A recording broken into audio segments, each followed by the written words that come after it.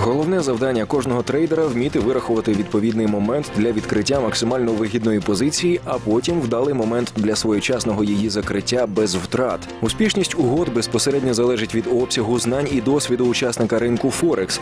Що таке хвильовий аналіз та як збільшити свої шанси на виграш, застосовуючи теоретичні знання на практиці, читайте на сторінках фінансово-аналітичного журналу нового покоління FX Factor.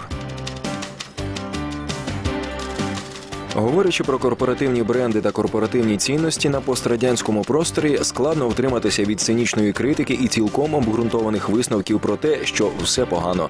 Існування бренду у свідомості персоналу компанії, власників і директорів зовсім не гарантує розвиток цього ж бренду за дверима офісу. З чого має починатися корпоративний брендинг, розповідає засновник та керівник компанії Inspire Meta Marketing Ярослав Трофімов на сторінках всеукраїнського рейтингового журналу Гвардія.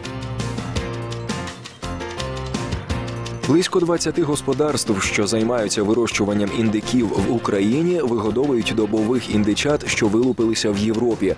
У травні поточного року було ухвалено проект закону, за яким планується збільшити ввізне мито на добових індиків з теперішніх 2% до 5%. Чи стане зростання мит додатковим стимулом для організації в Україні виробництва з вирощування добових індичат, за яких умов його можна організувати і хто міг би зайняти цю нішу, дізнавалися журналісти газети Бізнес.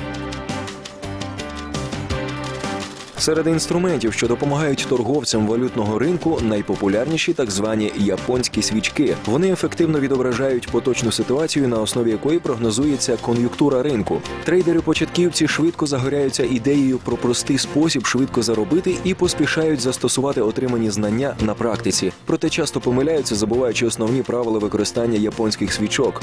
Найпоширеніші помилки, яких необхідно уникати трейдерам, наводить фінансово-аналітичний журнал FX Factor. Способом зміцнення конкурентних позицій та економічного розвитку компанії є створення успішної системи управління брендом.